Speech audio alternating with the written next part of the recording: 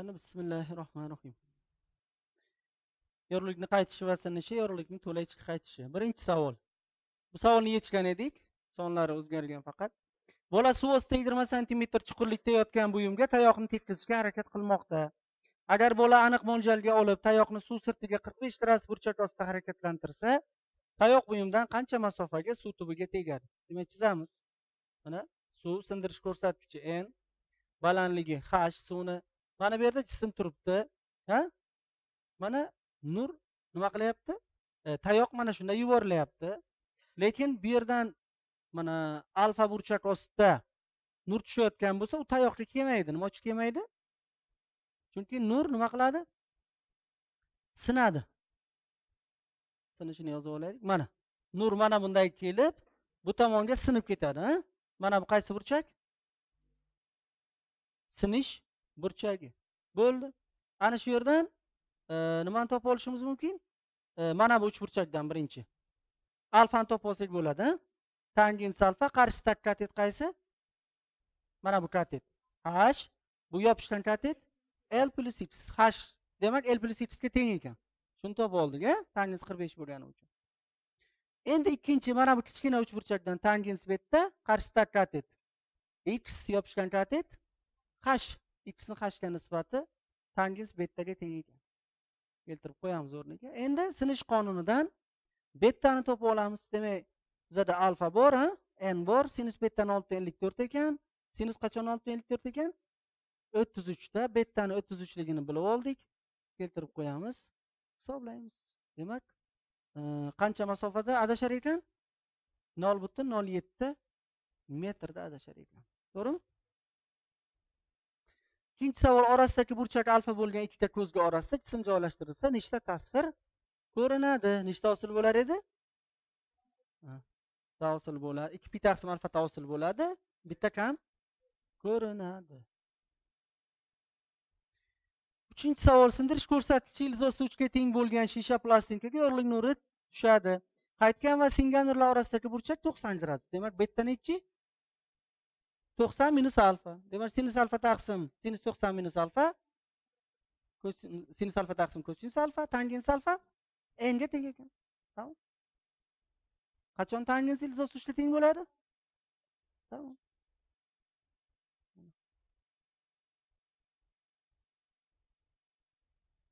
Demak b javob ha? To'rtinchi savol. Suv ostida turgan g'avvosga quyosh nurlari suv sirti bilan oltmish gradus burchak hosil qilib tushayotgandek tuyuladi. Quyosh nurlarining tushish burchagi qanday? Demak mana nurni tushish burchagi asli sariq nur asl ko'rsatilgan ha? Mana sinib ketyapti. G'avvos mana bu tomondan kelyapti deb o'ylaydi demak e, suv sirti bilan nurlar oltmish gradus burchak tashkil qilayotgani ko'rinsa unga bitta sinish burchagi nechi bo'ladi. O'ttiz bo'ladi. Xo'sh bu oltmish bu o'ttiz. Sinus o'ttizligini e, sinish burchagi o'ttizligini bilib olsak bu yerdan tushish burchagini topib olamiz. Sinus alfani oltidan oltmish besh ekan. Qachon oltmish beshda bo'lar ekan? Qirq birda. Demak alfa qirq bir ekan. Bizlardan nimani so'rayapti? Quyosh nurlarining tushish burchagini so'rayapti. Shuni so'rayaptimi o'zini? Shuni o'zini so'rayapti. Beshinchi savol. Quyoshning gorizontdan balandligi qirq to'rt gradusni tashkil etadi demak nechi gradusda tushyapti? qirq oltida. Yassi ko'zdan qaytgan quyosh nurlarini yuqoriga vertikal yuborish kerak demak nechi gradusga burish kerak? Qirq olti gradusga burish kerak. Ana qirq olti gradusda tushyapti. Vertikal qilish uchun uni qirq olti gradusga burish kerak. To'g'rimi? qirq oltiga burish uchun ko'zni qancha burish kerak? Yigirma uchga burish kerak.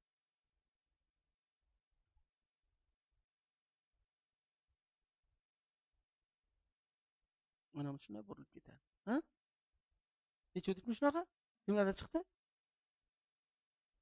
Tushundingizlarmi sizlar yigirma ikki belgiladingizlarmi hey o'ylamaysizlarmi o'sha payt? Bu bor edi yigirma ikki nima uchun buni shunday beradi yana narzullayev deb o'ylanglarda demak nimadir o'zgaradida baribir. Ko'rasizlar ha? Yo'q baribir. Ehtiyot bo'linglar. Yorliq nurning ikki muhit chegarasiga tushish burchagi o'ttiz gradus bo'lganda sinish burchagi qirq besh gradus ekanligini bilgan holda to'la ichki qaytishning chegaraviy burchagiga teng qanchaga teng bo'lishini toping. Demak bizga qaysi qonunlar kerak? Sinish qonuni va to'la ichki qaytishni chegaraviy burchagi alfa nol bo'lganda sinish to'qson gradus bo'lishi. To'g'rimi? Demak e, ikkita holatda yozamiz shuni. Ikkinchi holatda bu yerda nechi bu alfa nol bo'lganda bu to'qson to'g'rimi?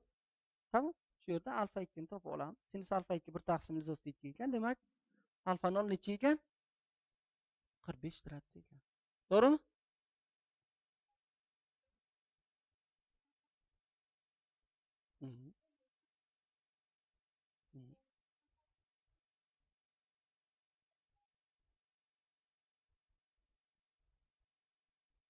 E, qarang.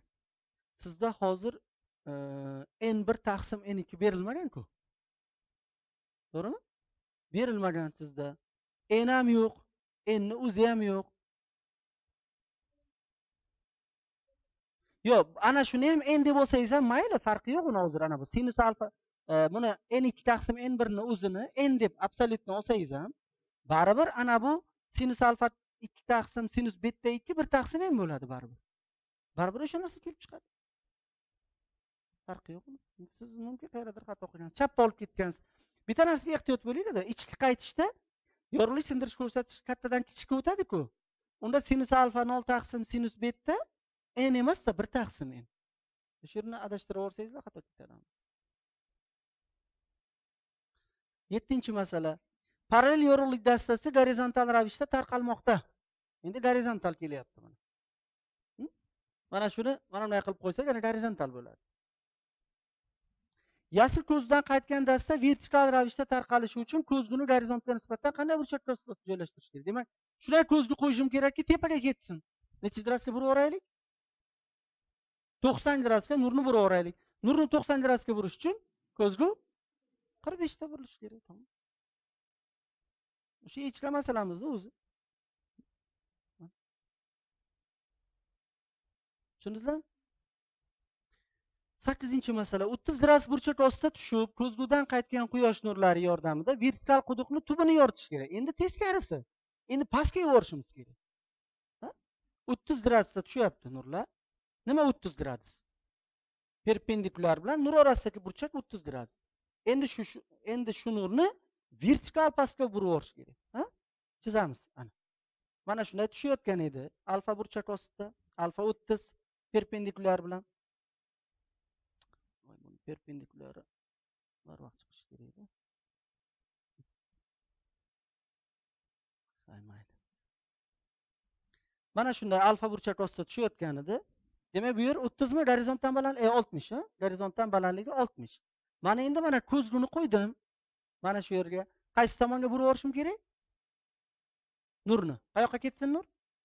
Vertikal pastga vertikal pastga ketsin degani nechi gradus bo'ladi tushgan bilan qaytganni orasi?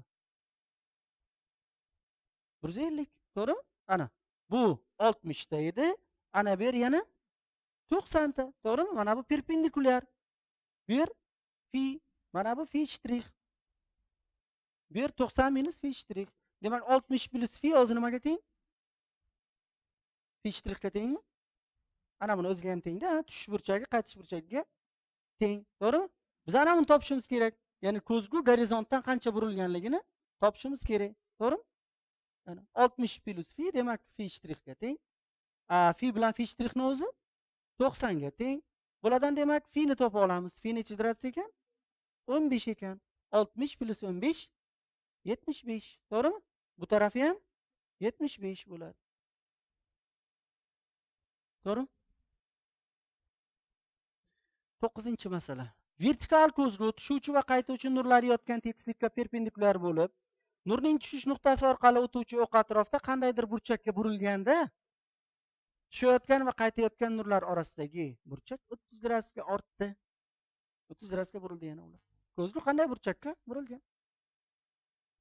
Yana shu savolmi? Hammasida sonlar faqat boshqa. Shu qoida yod bo'lib olsin. Demak ko'p kerak shu qoida bizaga. Ko'zguni alfaga bursak nurlar ikki alfaga buriladi. Bu alfaga buriladi bunisi ham alfaga buriladi. Demak nechi drast burganmiz ko'zguni o'n besh drastga burganmiz. Tushundingizmi o'ninchi masala odam vertikal devorga o'rnatilgan yassi ko'zgu oldida turibdi uni o'z tasvirini to'liq ko'ra olishi uchun bo'yini minimal balandligi bo'yini yarimcha bo'lishi kerak endi bu yod bo'ldi sizlarga. To'g'rimi?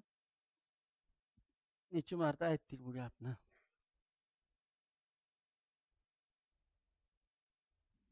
Yassi ko'zgu buyumning ko'zgudagi tasviri turgan joyga ko'chirilganda demak mana shu eshikni oldida ko'zgu turibdi deylik. Mandan eshikkacha masofa a. Demak mandan tasvirimgacha masofa ikki a. Endi ko'zguni oldikda tasvir turgan joyga ko'chirdik. Man bilan ko'zguni orasi qancha bo'ldi? Ikki a bo'ldi tasvirimgacha to'rt a bo'ldi. Bu buyum va uning tasviri orasidagi masofa demak to'rt marta o'shandan bo'ladi. Tamom to'g'rimi mana bu yerda edi. Mana a a edi keyin ikki a ikki a bo'ldi. Chiqdimi shunaqa? O'n ikkinchi masala yassi ko'zgu nuqtaviy yorug'lik manbai tomonga yigirma e, santimetr taqsim sekundlar harakatlanmoqda. Demak mana bu manbani eshikni oldida ko'zgu bor demak yigirma santimetr kelyapti har sekundda xo'sh tasvir har sekundda qancha keladi qirq tushunaymi tasvir qanday tezlik bilan harakatlanadi tamom perpendikulyar tezlik yo'nalishi ko'z tekisligiga perpendikulyar mana bu v tezlik bilan yuradi demak a masofani v tezlik bilan t vaqtda bosib o'tadi tasvir esa u tezlik bilan ha demak uni tezligi ikki marta katta bo'ladi. To'g'rimi? Chiqdimi shunaqa? O'n uchinchi masala. Ikkita yassi ko'zgu bir biriga nisbatan burchak ostida o'rnatildi va ular orasidagi nuqtaviy yorlik manbai ular orasidagi nuqtaviy yorlik manbai joylashtirildi. Bu manbadan birinchi ko'zgugacha bo'lgan masofa bir yarim santimetr ikkinchisigacha ikki santimetr. Birinchi ta'sirlar orasidagi masofa besh santimetr ko'zgular orasidagi burchakning ikkilanganini toping. Nechadikmi shunga o'xshagan? Demak mana ikkita ko'zgu mana shu yerda turibman demak birinchi ko'zgugacha mandan bir yarim santimetr. Demak man bilan birinchi ko'zdagi birinchi tasvirni orasidagi masofa uch santimetr. Ikkinchi ko'zgacha ikki santimetr. Demak bu tomondagi birinchi tasvirim bilan oram to'rt santimetr ha? Demak uch to'rt. Ikkita tasvirni tutashtirsak besh. Demak to'qson gradus ekanmi tamom ikki a demak bu yog'i ikki b mana bunisi c ko'zgular orasi alfa bo'lsa bu yer qancha bo'ladi? Pi minus alfa. Ha endi olti to'qsonligini bilmaymizku. Ana endi qo'yib olamiz kosinuslar teoremasiga. Mana to'qsonlik chiqadi bizga ikki alfani toping deyapti bir yuz sakson bo'ladi. To'g'rimi? Kimlarda chiqdi? Tushundingizlarmi ikkitasi ko'zgu bir biriga nisbatan burchak ostida o'rnatildi va ular orasidagi nuqtaviy yorliq manbai joylashtirildi. Bu manbadan birinchi ko'zgacha bo'lgan masofa uch santimetr ikkinchisigacha sakkiz santimetr. Ko'zgular orasidagi birinchi tasvirlar ko'zgulardagi birinchi tasvirlar orasidagi masofani toping. Endi seni topishimiz kerak shundaymi xuddi hozirgi formulamiz ko'zgular orasidagi burchak berilgan. Xuddi hozirgida joylashtiramiz. Mana ikki a ikki b c mana bu yer berilgan bizga demak shu yerdan nimani topa olamiz? Sni topamiz o'n to'rt santimetr to'g'rimi? O'n beshinchi masala. Quyosh gorizont bilan sinusini oltidan oltiga teng bo'lgan burchak hosil qiladi. Qaysi burchak? Pastdagi. Bitta ikki minus alfa. Balandligi bir butun yetti metr bo'lgan tayyor nol sakkiz metr chuqurlikdagi hovuzni tubiga qoqib qo'yilgan. Bu tayoqning hovuz tubidagi soyasini uzunligi balandligidan necha santimetrga uzun? Soyasini uzunligi qancha degan savol bor edi yechuvdagi eslaringizda bo'lsa. Suvni sindirish ko'rsatkichi bir butun uch davrda demak mana tayoqni qoqdik. Nurlar tushdi. Alfa burchakda sindi demak mana bu yer pi taqsim ikki minus alfa mana bu yer sinish burchagi betta bu hovuzni chuqurligi yer tayoqni suv ostidagi qismini uzunligi demak mana bu yer l soyaning uzunligi. Tushunaymi? Mana bu yer x. Bu yer l minus x. Demak boshlaymiz birinchi uchburchakchadan bu qancha joy? ellik santimetr qoldimi? Mana bu yer ellik santimetr. Bo'ldi. Birinchi mana bundan boshlaymiz ana mana pi taqsim ikki minus alfani tangensi nimaga teng? Xning mana shu ellik santimetrga nisbati ha- kattashi minus kichikashi ikkinchi uchburchakchada mana bu yerdalikdan qarshisida katet. L minus x yopishgan katet. H. Bo'ldi. Mana shu yerdan xni topib oldik. Sinish qonunidan sinus betani topib olamiz. Sinus betdan oltidan olti bo'lsa kosinus betta. Nol butun sakkiz bo'ladi. Tangens bettada demak bizada tangens betta bor a nol butun olti taqsim nol butun sakkiz. Shu yerdan l ni topib olamiz. Bir butun sakkiz metr ekan. Endi aytyapti l minus h qancha? Tushunaymi? Demak l minus h o'n santimetr ekan h bir butun yetti metr edi l bir butun sakkiz metr ekan salgina uzunroq ekan a o'zidan kimlarga chiqdi bir ikki uch to'rt besh olti yetti chiqdi necha udikku masalan ha o'ylamaysizlarmi qanday bu o'sha savolni tashlayvermaydiku narzulloy aka men birinchi marta sizlarga test berayotganim yo'q o'ylanglar ozgina nima o'zgarganini qidiringlar sizlar nimani o'zgartirganman shuni qidiringlar. Teleminorani bilasizlar toshkentdagi teleminora ostankinodan keyingi o'rinda turadi. Moskvadagi ostankino teleminorasidan keyin. Teleminora soyasini uzunligi bir yuz ellik metrga teng bo'lgan vaqtda uzunligi yetti yarim metr bo'lgan simyog'och soyasini uzunligi uch metrga teng bo'ldi. Mana bu teleminora mana bu simyog'och. Teleminorani balandligi necha metr deyapti. Demak uchburchaklarning o'xshashligidan foydalanamiz ha? A b c uchburchak o'xshash d e c ga tushunaymi? Demak a b ning nisbati d e ga ha? A c ning nisbati c d ga. To'g'rimi? A b deganimiz minorani bo'yi e d deganimiz simyog'ochni bo'yi? Demak minorani balandligi qancha ekan? Uch yuz yetmish besh metr ekan. To'g'ri? Tomoni d ga teng kub shaklidagi xona devorida kichik tirqish ochilib undan d taqsim ikki masofada yonib turgan sham qo'yiladi. Xona ichidagi devorga sham alangasi qanday holatga kiradi? Mana mana bu yerda sham qo'yildi. Demak qanday masofada? Xonani devorini yarmisicha. Masalan xonani devori besh metr bo'lsa undan ikki yarim metr masofaga ya'ni d taqsim ikki metr masofaga qo'yamiz. Shamning boshidan va oxiridan nima tushiramiz? Nur tushiramiz to'g'rimi? Demak nima bo'lar ekan? To'nkarilgan kattalashgan tasvir bo'ladi. Nima uchun? D taqsim ikkida bo'lgani uchun. Ddan tashqarida bo'lsa edi katta bo'lganda kichiklashgan bo'ladi nimaga to'nkarilgan mana to'nkarilyaptiku pastdagi nur tepaga ketyapti tepadagi nur pastga ketyapti. To'nkarilyapti tushundingizlar ko'rmaganmisizlar? Yozda e'tibor beringlar. Pardani yopinglar. Qayerdandir tirqishdan nur tushib o'tiradi. Ko'chadan odam o'tganda devorda soyasi paydo bo'ladi.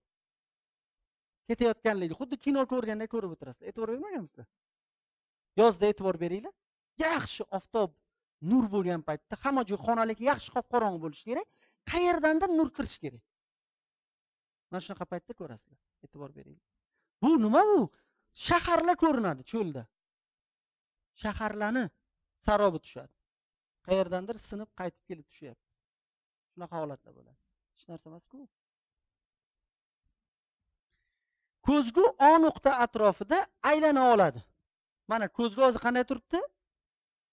Vertikal turibdi.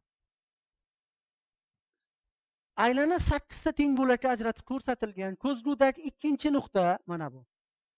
Aylanib uchinchi nuqtaga keladi. Unda oltinchi nuqta qayoqqa keladi? Yettiga keladi. To'g'rimi? Mana burilyaptida mana bunday bo'lyapti. Bitta katakka burilyapti. Birinchi nuqtada turgan a jismning tasviri qaysi nuqtaga o'tadi? Demak chizamiz ana.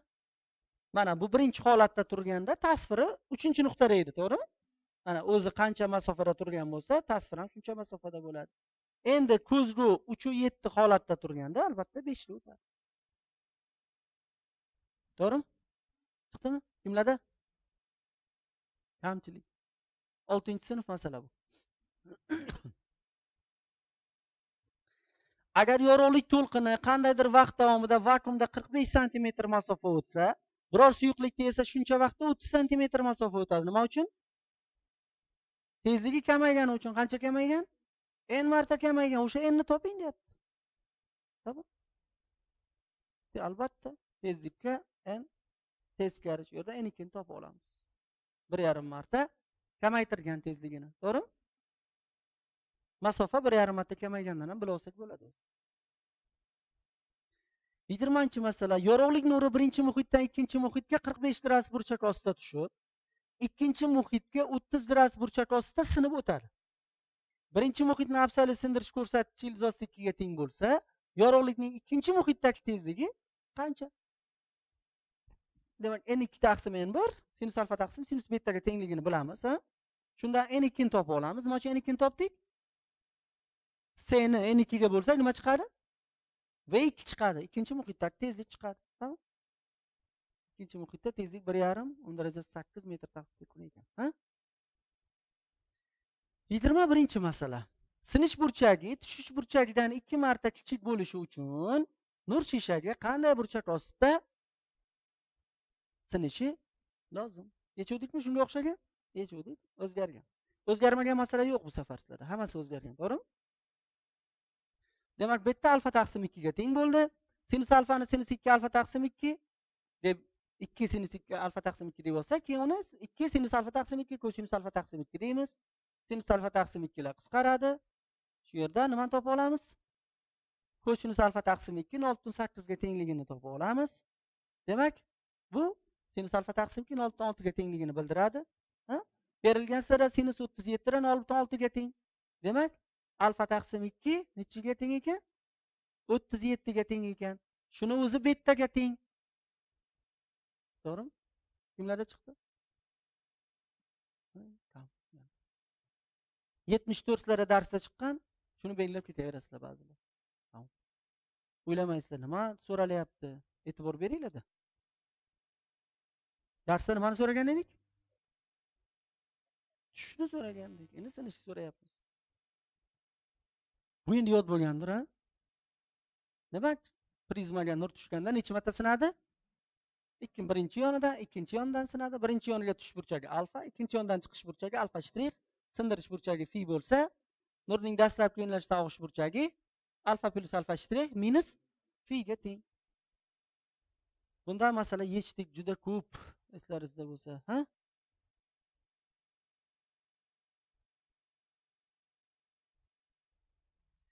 Yigirma uchinchi masala yassi parallel shisha plastinkaga orasidagi masofa olti santimetr bo'lgan ikkita yorug'lik nuri oltmish gradus burchak ostida tushadi. Demak ikkita nur tushyapti parallel ha? Orasidagi masofa qancha ekan? X olti santimetr endi aytyapti shu nur e, shu nurlar plastinkadan chiqib ketadigan nuqtalar orasidagi masofa qancha? Ana shu d. Tushishida qancha bo'lsa chiqishida ham shunchami? Chunki parallel tushib parallel chiqib ketadi faqat x masofaga nima qiladi? Siljiydi. Bo'ldi mana shuni topib olsak bo'ladi.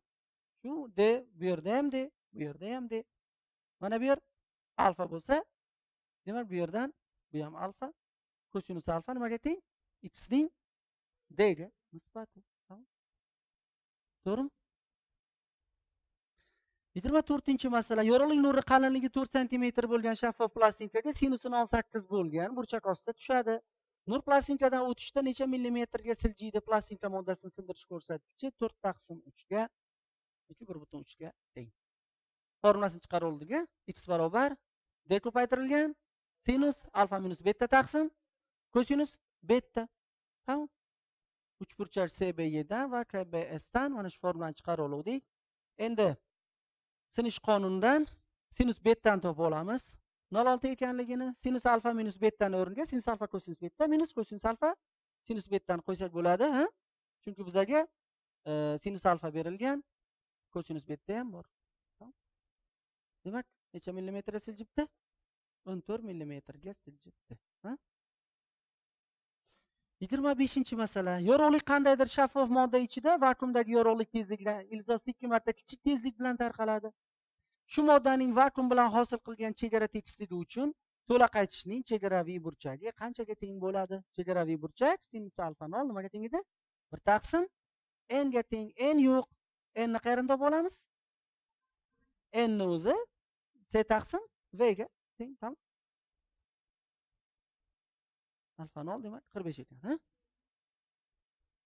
yigirma oltinchi masala. Sindirish ko'rsatkichi bir yarim bo'lgan shisha ichida sindirish ko'rsatkichi to'rt taqsim uch bo'lgan suv bilan to'ldirilgan to'rt yarim santimetr radiusda sferik kovak bor. Kovakka parallel yorliq nurlari tushmoqda. Kovak ichida kiradigan yorliq dastasini radiusini toping. Yechuvdigan unaqa masala. Demak mana shar sfera nurlar kelyapti. Qachon qaytib ketadi? Nechi darajada tushganda? Alfa nolda tushunarlimi chegara o'sha mana dasta tushyapti yorug'lik dastasi. Mana shuni radiusi mana nurlarni burilishi bilan boshlanadi chizmasi bor edi. Mana sfera. Nima uchun to'la qaytish bo'lyapti? Hmm, shishadan ko'ra uni ichidagi suyuqlikni sindirish ko'rsatkichi kichik kattadan kichikka o'tyapti to'la qaytish bo'lyapti. To'g'rimi? Mana alfa nolda tushdi. Mana bu yer e, nimani radiusi? Sferani radiusi. Mana bu nimani radiusi? Kichkina yercha yorug'lik dastasining radiusi. Mana shu dastalikdan keyin qaytib ketadi. Tamom shu yerdan sinsalfanolni r taqsim katta yorligini topdik to'la chiqib qaytish qoldi sinsalfanolni o'zi n ikki taqsim n birga teng tamom. Darsda yechuvdik eslaringizda bo'lsa faqat soni sal boshqacha. To'g'rimi? Yigirma yettinchi masala. Hovuzning chuqurligi to'rt metrga teng. Agar uning tubiga suvning tepasida suvning tepasiga egilib vertikal pastga qaragan holda nazar solinsa hovuzning tuyulma chuqurligini aniqlang. Ya'ni hovuz biza o'ylaganday bo'lmaydi chuqurligi. Nima uchun? Ha sindirib ko'rsatadi. Ba'zida ey chuqur ekan deb tashlaydi. Ochilib ketadi. Bo'ladida shunaqa bilasizlarmi qancha bo'lgan bunaqa holatlar? Suvni sindirish ko'rsatkichi bir butun o'ttiz uch burchaklarni kichkina deb hisoblangan tangin salfani sin alfaga teng deb ketavering deyilgan bunda shunaqa deb ketaveramiz. Mana nurlar tushdi alfa burchakda. Sindi betta burchakda. Aslida mana bunaqa ketishi kerak edi bu tomonga ketishi kerak edi. Bu yer ham demak betta bu yer alfa. To'g'rimi? Mana bu haqiqiy chuqurligi. Demak mana bu tuyulma chuqurligi. To'g'rimi? Chuqur emas ekan deb bunaqa qo'yganda kirib ketishi ham mumkin. Oyoq. Bu yer demak x. Bo'ldi ana shu yerdan demak tangens alfani topib olamiz birinchisidan x ning nimaga nisbati bo'ladi? Mana bu h ga nisbati. Ikkinchisidan ham topib olamiz mana bunisidan tangens bettani x ning nimaga nisbati? Katta h ga nisbati. Demak shular taxminan sinus alfalarga teng deymiz. Chunki kichkina burchaklar. Sinus alfa taqsim sinus bettani o'zi n ga teng. Keltirib qo'yamiz. Demak uch metr tuyular ekan. Aslida qancha ekan? To'rt metr ekan kimlar yechdi? Yaxshi. O'zaro o'ttiz gradus burchak ostida joylashtirilgan ikkita ko'zguning biriga yorug'lik nuri tushmoqda. Bunda ikkala ko'zdan qaytgan nur bilan tushgan nur ostidagi burchak qanday bo'ladi? Faqat bitta shu masalani manimcha soni o'zgarmagan bo'lishi kerak. Yigirma to'qqizdanmi yo hozirgacha bo'lganlardan shu ekan o'ttizda demak mana nur tushdi alfa burchak ostida ikkinchisiga tushib qaytib chiqib ketdi. Demak perpendikulyar bilan birinchi tushgan nur orasidagi burchak alfa perpendikulyar bilan qaytgan nur orasi ham alfa bu yer to'qson minus alfa to'g'rimi? Bu yer oltmish plyus alfa. Perpendikulyar bu qaysi? Ikkinchi ko'zgudan ga tushish burchagi. Qanaqadir sigma o'zi belgilab olaylik. Buni ham topib olsak bo'ladi ana buni hammasi to'qson edi demak bu tomoni qaytishi ham sigma sigmani o'zi o'ttiz minus alfa. Mana uch burchakni ichki burchaklaridan bettani ham topib bilamiz.